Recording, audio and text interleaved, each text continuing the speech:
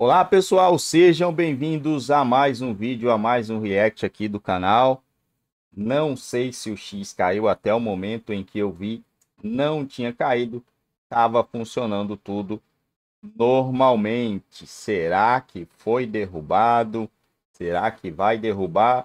Ou foi apenas um blefe? E se foi um blefe, é um sinal de muita fraqueza e de medo falou que ia fazer uma coisa e não fez, será?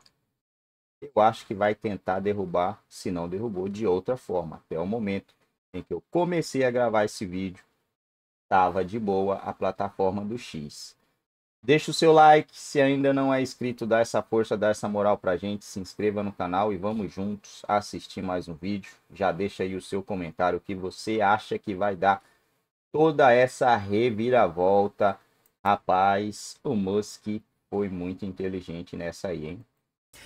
A possibilidade de o ministro Alexandre de Moraes suspender as atividades da rede social X no país deve intensificar a campanha nacional pelo impeachment do magistrado.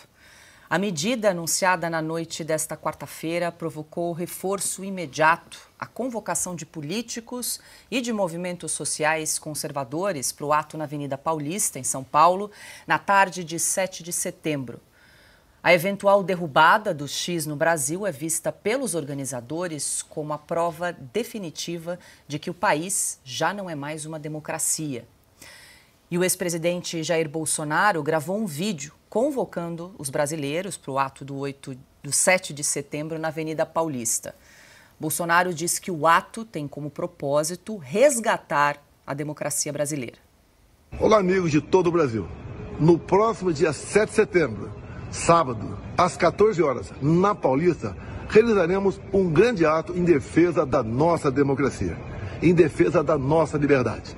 Porque de nada vale falarmos ou comemorarmos independência se nós não temos liberdade. Esse movimento, a exemplo do que aconteceu em fevereiro, também na Paulista, nós queremos dar um recado para o Brasil e mais um recado para o mundo do que nós estamos sofrendo aqui, que nós queremos. Nós queremos anistia para os presos políticos. Nós temos no Brasil hoje órfãos de pais vivos. Isso não é admissível. Nós temos gente que morreu em prisão sem o direito de se defender. E nós temos que lutar por isso. Essa é a intenção desse novo movimento. Faremos tantos quantos forem necessários para nós sensibilizarmos mais gente no Brasil e fora do Brasil dessa real necessidade de tentarmos, de buscarmos resgatar a nossa democracia. Bolsonaro disse que candidatos à Prefeitura de São Paulo estão autorizados a subirem no trio elétrico. É um movimento suprapartidário e como um candidato a prefeito da capital queria comparecer, nós autorizamos. Assim como qualquer outro candidato a prefeito da capital está autorizado a subir no carro de som também. Obviamente, não falamos da palavra, porque não teremos ali um ato político, e sim um ato patriótico para o resgate da nossa democracia. Convido então a todos vocês a comparecerem, a exemplo de fevereiro último, uma grande imagem, todos de verde e amarelo, realmente mostrando seu patriotismo e o que quer. No mais, eu peço que nos demais municípios não façam um movimento semelhante. E todos que não puderem comparecer, fiquem em casa ou vão se divertir com a família e não compareçam em qualquer evento comemorativo à independência patrocinado pelo governo federal. Afinal de contas, repito, de que vale a nossa independência se nós não temos liberdade. Consta, deixa eu te ouvir, porque tem muitos analistas aí associando o sucesso aí dessa manifestação, desse ato na Avenida Paulista no próximo dia 7 de setembro, com o possível avanço de um pedido de impeachment do ministro Alexandre de Moraes. E hoje, com essa, ontem, na verdade, né, na noite de ontem, com essa novidade da intimação de Elon Musk pelo ministro Alexandre de Moraes, a apuração é de que essa manifestação, esse movimento deve se intensificar aí no próximo dia 7 de setembro. Qual que é a sua leitura? Eu acredito que sim e espero que sim. Não quero é, confundir torcida com análise, mas acho que todos os ingredientes para a maior manifestação que o país já viu, talvez, é, estão na mesa, esses ingredientes, né? Porque cada vez mais gente, a gente pode observar isso por editoriais de alguns jornais que até ontem aplaudiam o arbítrio de Alexandre de Moraes porque achavam que ia ficar restrito a bolsonaristas. vários estão acordando. O que mais é preciso para acordar, né? Depois de tudo isso que vem acontecendo. A, a, o, o, André Marsiglia estava explicando ainda há pouco, né, que muitos adotam uma postura meio egoísta em relação à liberdade de expressão. E mesmo, mesmo o sujeito mais míope egoísta, que só sente quando a água bate no seu bumbum, ele tem que se dar conta que saiu de controle e que se ainda não bateu no bumbum dele é questão de tempo.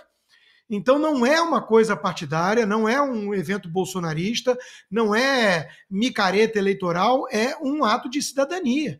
E muita gente está se dando conta disso, tem que ser sim suprapartidário. Eu adoraria ver todos os candidatos uh, à Prefeitura de São Paulo em cima do caminhão. Claro que a turma da esquerda radical, Boulos, Tabata e o Datena não, não vão participar disso porque eles apoiam a censura. Mas não é uma coisa sequer de direita e esquerda mais. É, é, o seguinte: você é a favor de resgatar a democracia no Brasil? De fato, não aquela cartinha para salvar a democracia ao lado de bajuladores de tiranos como o, o, o, o pessoal do PT? Você quer o Estado de Direito em nosso país? Ou você quer o governo de homens? que acordam é, cismados e, e, usam o aparato todo estatal, o monopólio da coerção e tudo para perseguir indivíduos, cidadãos. Essa é a pergunta que está na mesa. Então todo mundo tem que se unir agora. E olha, mesmo com sucesso nas ruas, tudo. Eu tenho dúvida se dá para mudar alguma coisa com isso. Imagina sem, né? Então nós temos que fazer aquilo que está ao nosso alcance. Pressionar o senador Rodrigo Pacheco, que é cúmplice disso. Nossa querida amiga Ana Paula Henkel postou ainda há pouco, né? É, pauta única no Brasil hoje, né? Impeachment de Alexandre de Moraes. O país tinha que parar para discutir isso. Ou acordar sem X, com jornalistas aplaudindo, né, dizendo que é, mostra quem manda no país, tem ordem, tem lei. Não, não tem lei.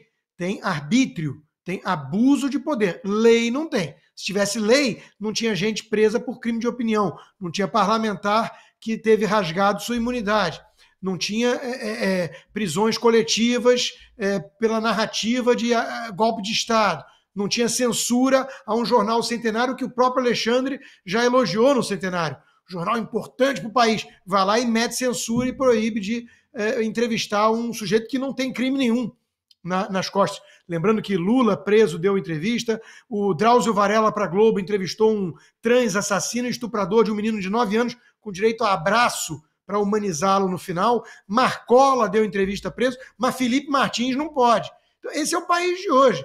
Quem é contra isso, eu acho que tinha que ir no 7 de setembro.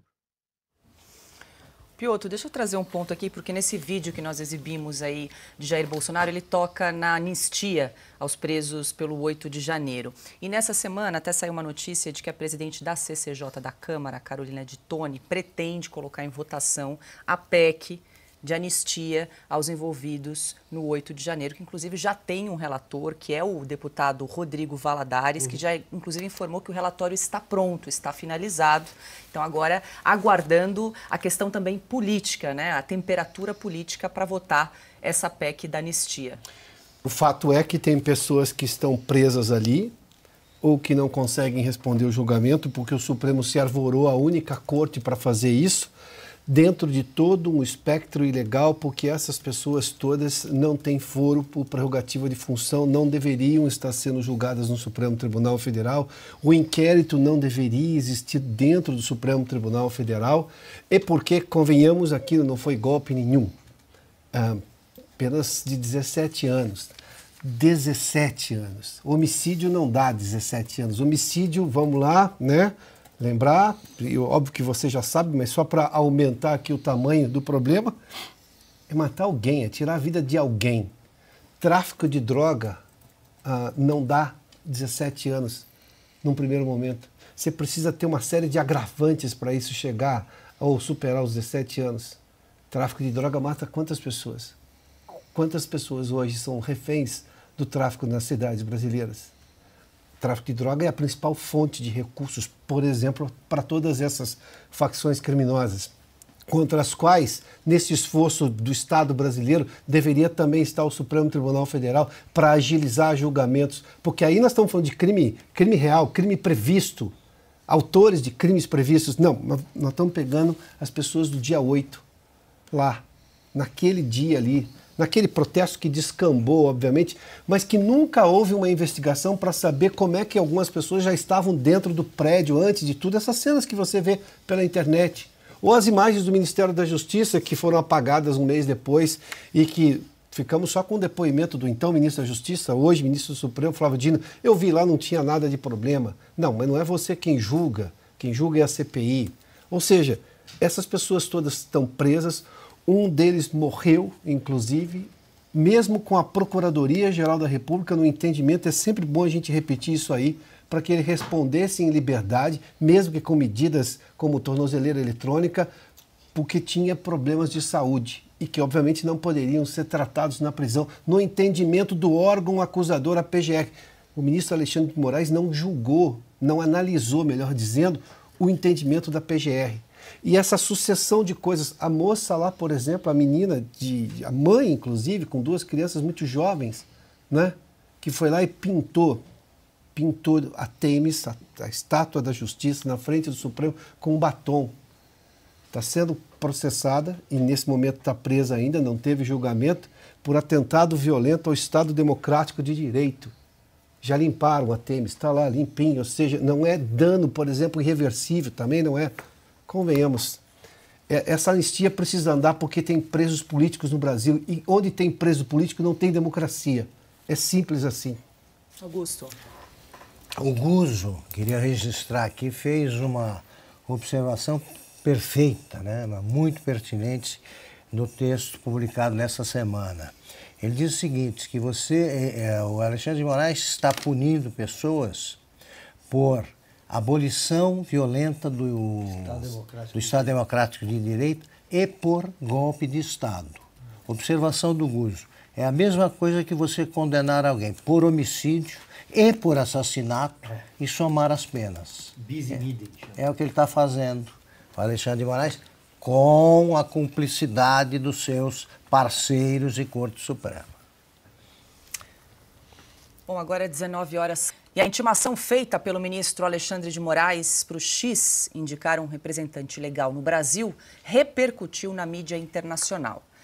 Ao noticiar a ameaça de Moraes, o jornal americano Wall Street Journal afirmou, aspas, o ultimato marca uma nova escalada em uma situação já tensa entre a mais alta corte do Brasil e o X. Fecha aspas. Na Europa, o francês Le Monde classificou Moraes como um famoso juiz da Suprema Corte do Brasil e lembrou que Musk acusou o ministro do STF de ter ameaçado prender legal da plataforma no Brasil, algo que a rede social considera uma forma de censura. A agência de notícias do Catar, Al Jazeera, lembrou que Moraes ordenou a suspensão de mais de 100 contas no X nos últimos anos, incluindo algumas de apoiadores do ex-presidente Jair Bolsonaro. 100? Oi? 100 contas? 100 contas, sim. Tá bem de Deixa eu trazer que tem mais aí. aqui. Tá bem de correspondente esse jornal aí. A emissora de TV americana ABC News também deu espaço para o assunto. Abre aspas como um juiz brasileiro pode suspender o X em algumas horas, fecha aspas. Deixa eu passar aqui para o Consta, porque tem muitos veículos repercutindo uh, essa notícia, Consta. Enfim, o Brasil virou assunto global aí com essa decisão do ministro Moraes de banir a rede no Brasil. Sim, e motivo de perplexidade e de chacota em alguns casos, né? Porque o Elon Musk também provocou, mostrando justamente esse aspecto né, pitoresco aí do Alexandre de Moraes, como Valdemorte e por aí vai. Então, é, muita gente está se dando conta que o Brasil já não tem mais democracia e o alerta em ano eleitoral nos Estados Unidos é cuidado que a esquerda que não respeita a liberdade de expressão, que cria é, pretextos falsos, como nenhum direito é absoluto, eles querem a liberdade de ofender e agredir, espalhar ódio, mentira e blá blá blá que isso, eh, na prática, serve para avançar com a tirania, com a censura. Então, eh, os americanos estão atentos. Dois congressistas já se manifestaram, aquela mesma é, é, aqui, congressista da Flórida, Distrito 27, Maria Salazar, né, que estendeu a foto do Alexandre de Moraes, falando que ele é um operador totalitário do direito, e o Scott. E muita gente está atenta a isso. Né? O Brasil, não é de hoje, vai caminhando para se enquadrar dentro do eixo do mal. Essa é que é a verdade. Muita gente cobra do governo Joe Biden uma posição, uma vez que o governo Joe Biden, como ficou é, é, público, né, ele agiu para, de alguma forma, interferir na eleição, mandar recado a militares e coisa e tal.